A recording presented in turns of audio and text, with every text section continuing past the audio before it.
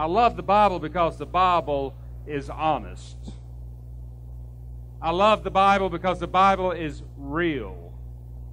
The Bible does not hide, cover up, or try to sugarcoat the difficulties and even the tragedies of this life. This life which we live in this fragmented world. I love that because this world in which we live is sometimes incredibly painful. We live in a world surrounded by poverty and economic pain. We live in a world where the rich take care of themselves while taking advantage of the poor. We live in a world where so called Christians, even Christians who attend church every Sunday morning, are some of the meanest, most evil people we know. We live in a world where our loved ones suffer with all sorts of dreadful, painful diseases. And we live in a world where we are continually reminded of our own mortality. Thus, I love John 11. For here in this very honest chapter, there is no denying the harsh reality of this fragmented existence we call life, especially in dealing with the most tragic aspect of this life the death of a loved one. Too many Christians, for too many reasons, would rather treat the tragedy of death as if it did not exist. We don't like talking about it. We don't want to talk about it. And we go to great lengths to deny the harshness, the sheer austerity of it. We don't even like to call it death. We would rather call it passing away. We say things all the time like there are worse things than death in this world. However, in death, there still exists an unex- inescapable starkness that cannot be denied or ignored. When we are honest, we would, would admit that death is the most difficult thing about life. Losing someone we loved is the worst of all human experiences.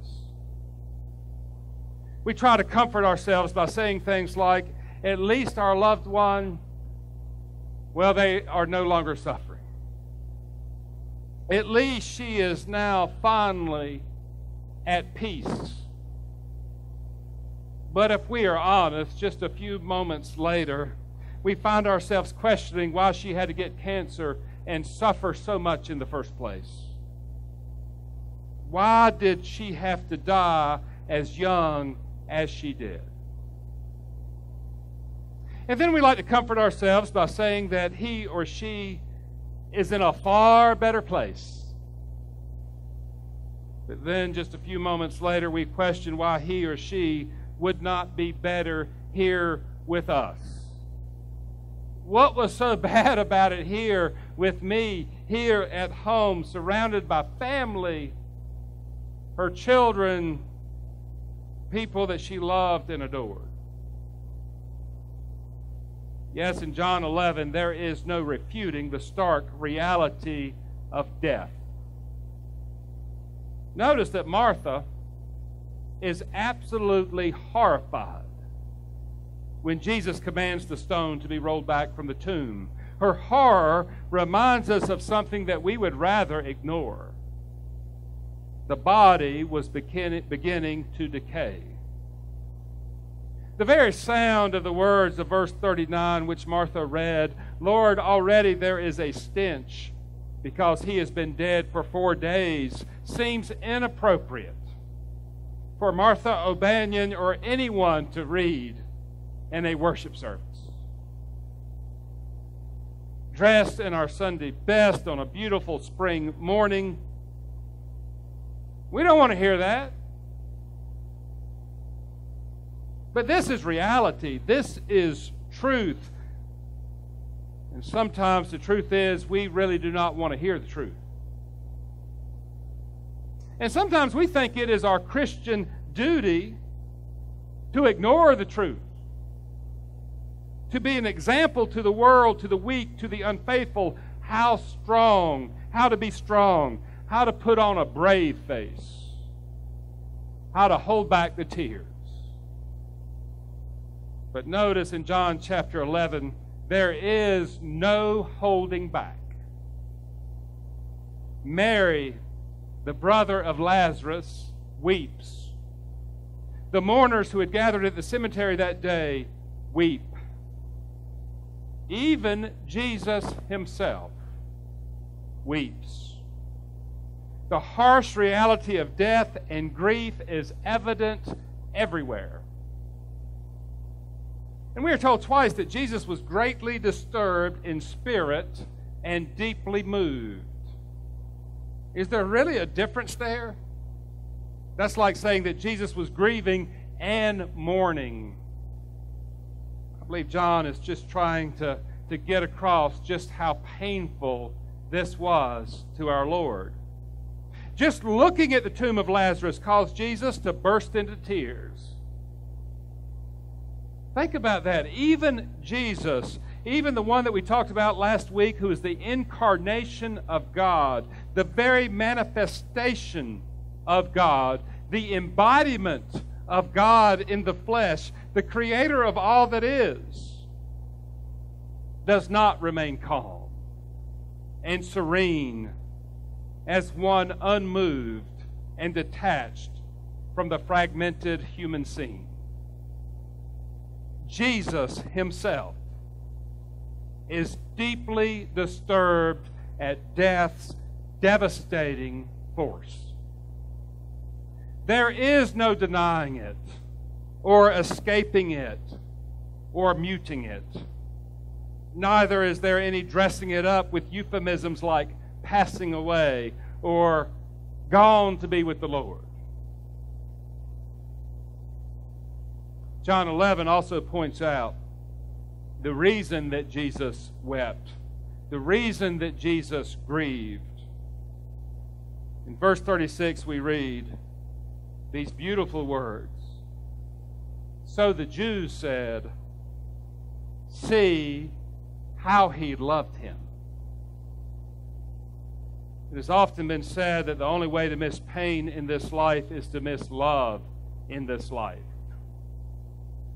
I don't know how many of you Okies have ever heard of a man called Garth Brooks. Born in Tulsa, raised in Yukon. Garth Brooks sings a song entitled The Dance. I should have asked Randy or Chuck or the band or someone to play this song today. Hindsight being 2020. Is it too late? Probably. Next year. One line of that song goes I'm not going to sing it. I could have missed the pain. I could have missed the pain, but I would have had to have missed the dance. Grieving only means that we have loved as our Creator has created us to love. The only way to never grieve is to never love. But to never love is to never truly live. As the song goes, the only way to miss the pain of loss is to miss the whole dance of life. So I believe John 11 and Garth Brooks gives each of us the permission this morning to grieve. May we grieve long and deeply. May we dare not run away from it. May we never treat it as some stranger that we could send away or deny that grief because someone who doesn't know any better means thinks mean thinks it means if we grieve means our faith is somehow weak. Let us grieve what we have lost. Let us grieve honestly, lovingly, and patiently. Let us grieve until our cups are emptied. However, And here's the good news for all of us this day. As Apostle Paul reminds us in his letter to the Thessalonians, those of us who call ourselves Christians should not grieve as others who have no hope. As Christians, our grief is real, but our grief is different. Our grief is not despairing because as Christians we possess hope. Because Jesus, who himself was not immune to grief and even death, is also the one who brings resurrection and new life. Those of us who are not, who are not immune to grief and death need to again hear Jesus' prayer, which came in a loud voice Lazarus, come out. I heard a preacher once ask his congregation, You do know why Jesus said, Lazarus, come out, don't you? He specifically called Lazarus' name, and he didn't just say, Come out. Because if he did not specifically say, Lazarus, come out, then every tomb in Jerusalem would have opened that day. We need to hear that voice. We need to hear this voice call our names and see this very real and foul, decaying corpse walking out of the grave, still wrapped in burial cloths, coming at the voice of Jesus to life. And then I, begin, I believe we need to hear again and hear again loudly Jesus' beautiful words unbind him. Unbind him and let him go. Lazarus is loosed from the bonds of death. He is freed from the shackles of his past. He is let go into a brand new future. Liberated, set free. Then I believe we need to hear John and Jesus himself tell us over and over that this event reveals the glory of our God.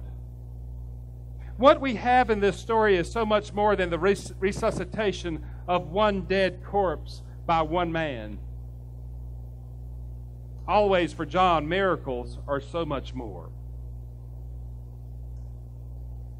Miracles are always signs that point to something greater. Thus, this miracle is the revelation that the God in whom we serve and trust and love, this God, who is not unmoved and detached from the human scene, is always a death overcoming and life giving God. The good news that we need to hear this morning is that this God is still working in our world today. This morning, right here in this place, unbinding, letting go, loosing, freeing.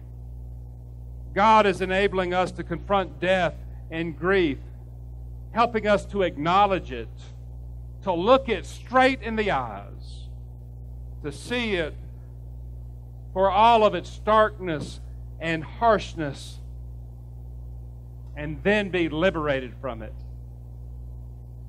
And if God is here this morning liberating us from the shackles of death, then there is nothing else in all of creation from which God cannot set us free. From evil bullies bent on crushing our spirits, from a job that is draining the very life from us, from a relationship that is killing us, from fears that paralyze us, disease that is destroying us, economic hardships that never seem to end, from depression that never lets go. One of the greatest things about being a pastor, and there are many great things, is how I have the awesome privilege as a senior minister to witness this good news all the time. someone loses their job. And they come to me as their pastor, believing that it's the end of the world. But a year later, sometimes sooner, working a new job, they share with me that losing that job was the very best thing that happened to them. Someone else comes to me and says that their marriage has fallen apart. And they are partly to blame, they say. They said that they thought that as that life as they knew it was over.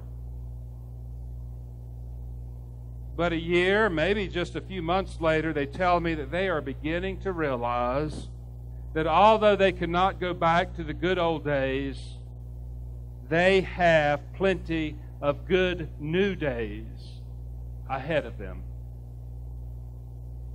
Someone comes to me sharing their deepest fear the fear of being known for who they really are, the fear of rejection and ridicule. Then I see them a short time later and they tell me how they have been shocked by unconditional love and unreserved acceptance. People call me as their pastor to share their doctor's grim diagnosis. They say that they have just received a death sentence. But a short time later, I visit with them, and they tell me that they're beginning to understand that being alive and being whole have very little to do with physical well being. And then I have visited countless people as they were facing what is certainly their final hours on this earth. But I hear in their voices and I see in their eyes a faithful awareness that there is nothing at all final about them. Thus, like Lazarus, in this incomplete and fragmented world where death, divorce, disease, and hate can entomb us, we can be loosed we can be freed and we can be unbound. We can come out and let go and celebrate the good news together. Where there is incompleteness and brokenness, there can be wholeness. Where there is tyranny of the mind, there can be freedom of the heart. Where there is imprisonment of the soul, there can be liberation of the spirit. Where there is grief and despair, there is hope. And where there is death and mourning and even decay, there is always life. Let us pray together.